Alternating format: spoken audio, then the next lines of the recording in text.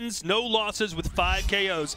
Levi Rigters squaring off against a man making his glory debut, Tarik Khbabez.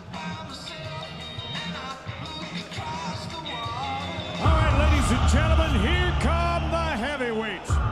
Sowieso de eerste plaats, daar ga ik natuurlijk voor.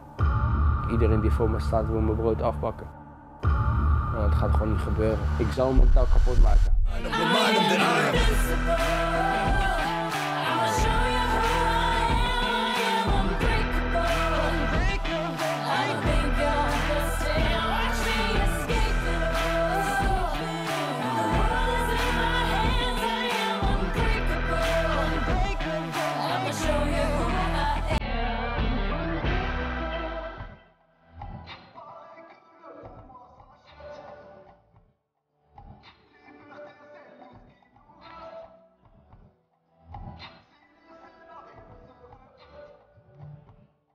His nickname, the Tank, says it all. Full speed ahead. He told us Mike Tyson is his biggest inspiration, so I try and throw like he throws. Yeah, heavy hands and pressure.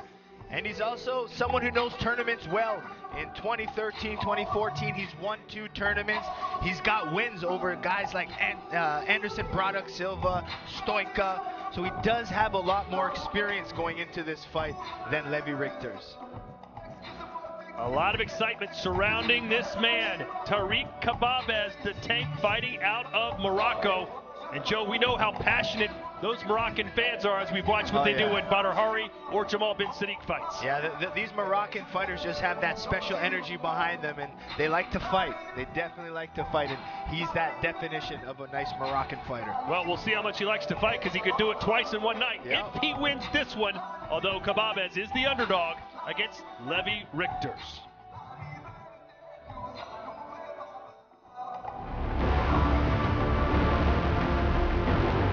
Comes the judge, Levi Richter.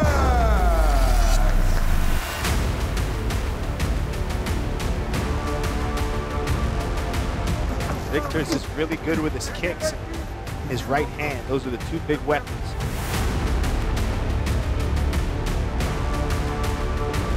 I'm loving those body rips, that shoe shine to the body.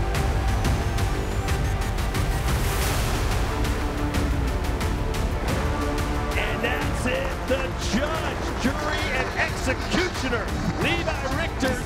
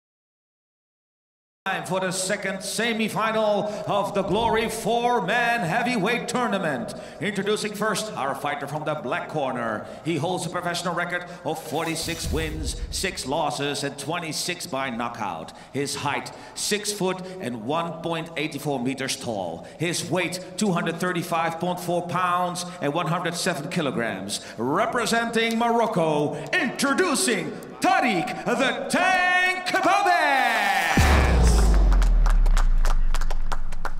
His opponent from the white corner. He is ranked 4 on the Glory Heavyweight Division. He holds a professional record of 12 wins, no losses, and 6 by knockout. His height, 6 foot 6 inches and 2 meters tall. His weight, 243.5 pounds and 110.7 kilograms. Representing the Netherlands, introducing, here comes the judge, Levi Yes, ladies and gentlemen, three rounds of three minutes, and the referee in charge of this match is Mr. Edward Strikert. Gentlemen, listen, fighting three rounds of three minutes. Yeah, when I say stop or break, you're gonna stop. Any questions? No questions? Toss gloves if you want. Back to your corners. The judge versus the tank. Levi Rigters, it's almost been too easy for him so far, Judge. Joe. Let's see how Fight. he handles some adversity. Fight. And you know Khbabez is going to bring it. Scheduled for three rounds, heavyweight division. Tarik Khbabez in the black gloves. Break. Levi Stop. Rigters Break. in the Listen. white. Fight! Ooh, you can already see the tank throwing that overhand. That's probably going to be his good shot with his left hook. Oh, nice knee from Rigters, and that buckled Khbabez for a second. Rigters is throwing some bombs right back, trying to hold his head and mix those knees.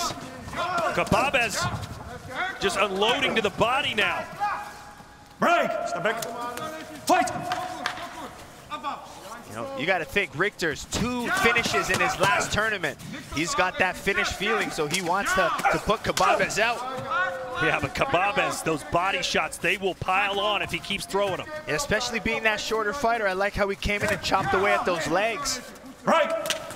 You talked about Murthel Groenhart's knees. Right now, Levi Rigters throwing them from every direction. Yeah, and I like those scissor knees too, especially off of a Right. right kick, right kick, and then throwing that scissor knee up the middle. Bob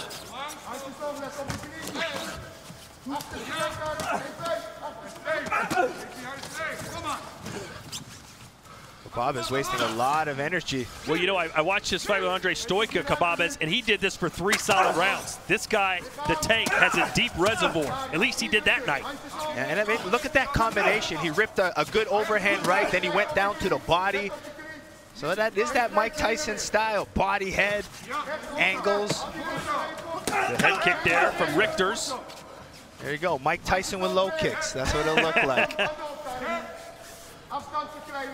Afstand verkrijgen op die knie leggen. Kom maar. Hij kan erbij komen dan. Eén, twee, goed. There's that range control from Richter. Stay long, pop the jab. Khbabez comes in, meet him with a nice knee. You can see how tight Rigters is pulling those elbows into his body. And he's not blocking those low kicks, Right. especially to the rear leg. And usually, if you're an orthodox fighter, your back leg isn't as conditioned.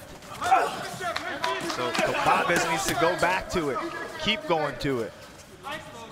I want to thank those of you tuning in here to, here to Glory 77. Those of you just joining us, we've been informed that this fight card will be available to be viewed for the next seven days. So you can go back and watch it as many times as you want over the next week. I do like those Rigters' front kicks. When Khbabez is far away, it's a front kick. When Khbabez is close, it's a knee. Oh, and that uppercut got Rigters off balance.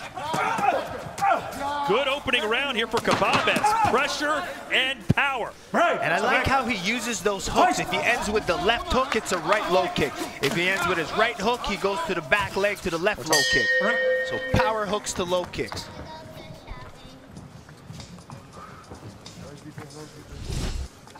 As we look at our fighter profiles, here's Levi Rigters. He is the, the judge. And the signature strike, the knees, he threw a lot of those at the early part of the round, but Khbabez just kept punishing him to the body and kind of slowed his output. I mean, on top of being a good fighter, I was also impressed that he's a social worker at a homeless shelter.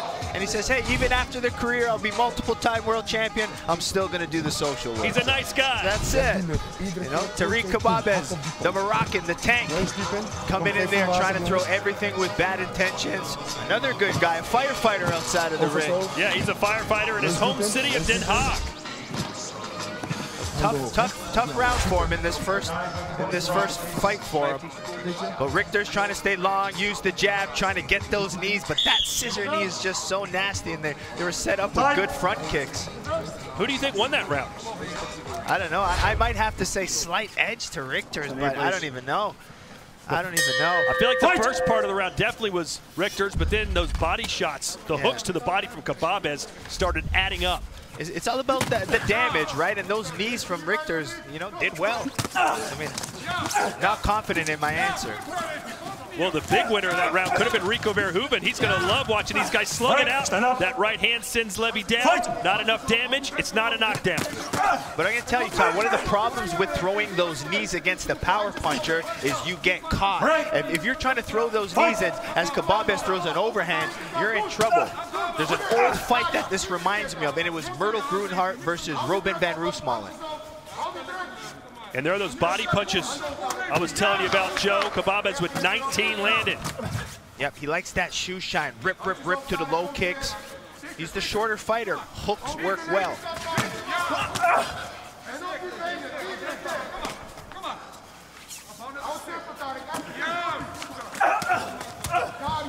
Yep, that back leg low kick. I like that one for Khbabez.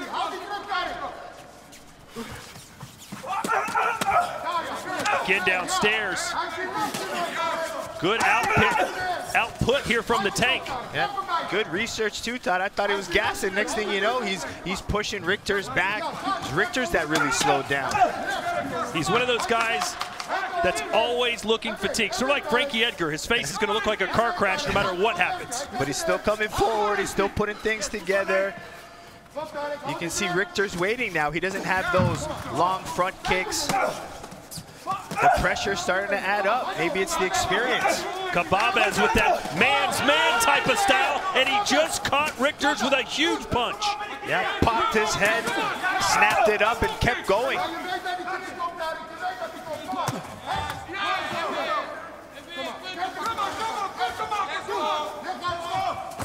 Which guy would you rather be right now, Joe?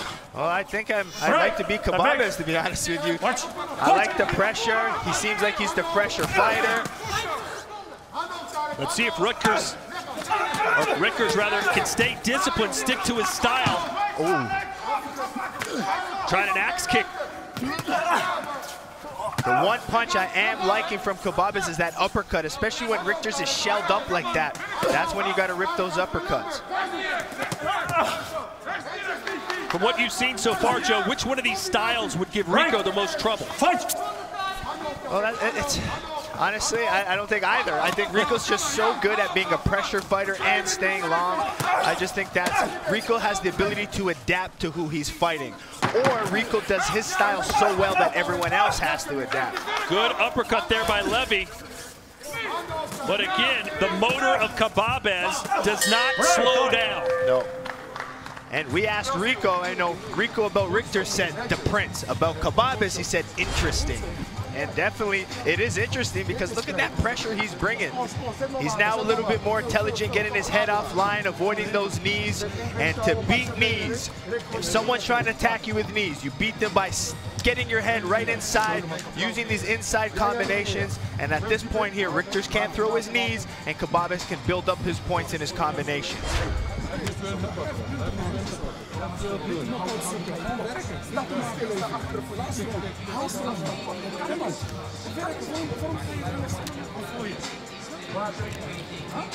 So Levi Rigters will see the third round for the first time as a Glory fighter. His first two fights ended in the second round and the first round respectively. And both of those wins and knockout wins happened in a tournament.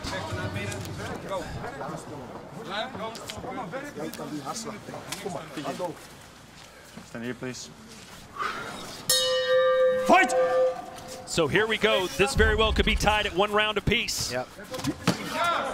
That's kind of how I would have it scored right now, 1-1. Rigters may need to find that second win. Khbabez is still on his first. Break! Step back! Stay here. Fight! Khbabez a swing and miss and almost turn and walk away, and you think he's gassed, and then he comes right back at you. Or he likes to throw his big punch and then fall inside and then keep throwing.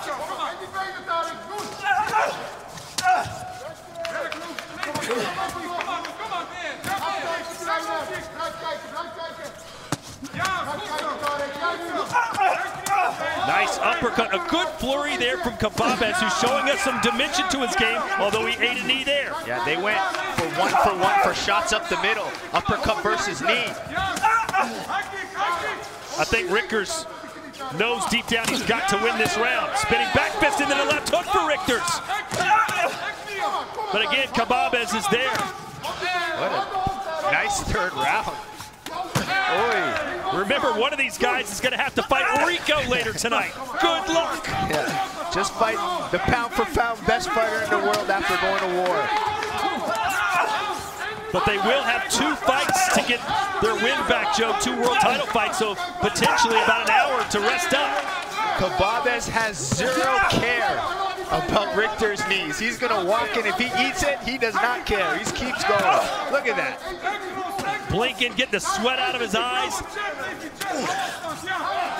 Let's see, Rigters can follow something now. A minute 10 to go. Break! They haven't had really many clinches at all either. It's been a stand-up war. This has definitely been the, the round of the, the event so far. Rigters is fighting that, and a wind-up uppercut. How did Khbabez eat that one? Break! Fight! You can see the pain on Rigters' face. This has been a battle royale. A jumping right hand from Rigters, and Khbabez walks right through it. Whoa! What a shot! And there it is! You cannot put the tank down! He's thrown Guys, that out, double kick so many times. He put his hand on his hips, almost as if to say, what the hell is going on? He got him again! That pressure, that athleticism. A new star perhaps being born here from Tarik Khbabez just by the amount of pain he can absorb. Let's hope he saved that chin a little bit for Rico. But what a scrap. Rigters has hit him with everything he's got. That uppercut from Rigters. What